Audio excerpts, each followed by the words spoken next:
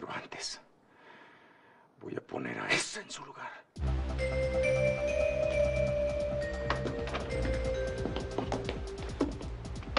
¿Está Virginia en su cuarto? Sí, mi niño.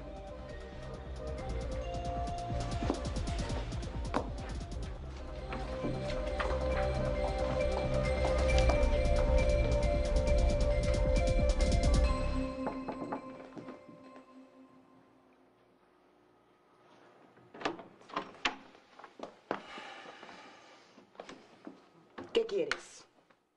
Que hablemos por última vez. Dime. Te escucho. Necesito dinero para irme. Tengo que pagar dónde vivir mientras consigo trabajo. ¿Por qué quieres irte? Porque me ahogo bajo este techo que es el mismo donde estás tú. Carlos Alberto, no seas tonto. Esta es tu casa. La casa de todos ustedes. Te juro que del dinero que dejó tu papá, no tomaré ni un solo centavo para mí. No seas cínica. No te des baños de pureza conmigo. Ya te dije que sé quién eres, aunque me quede corto. Eres mucho peor. ¿Acaso no es verdad? ¿Acaso a espaldas de nosotros no enredaste a mi padre? Yo te tenía en otro concepto, Virginia, y me equivoqué.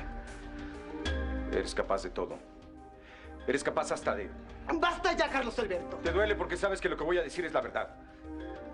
Tú eres capaz hasta de entregarte al mejor postor, porque eres una perdida, una mujerzuela. Cuidado con lo que dices, al igual que tus hermanos. Porque si se empeñan en herirme, se van a encontrar con una fiera. Una fiera terriblemente mala y despiadada.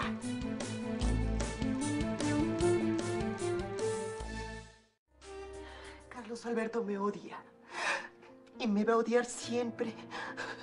Yo, en cambio, lo seguiré amando.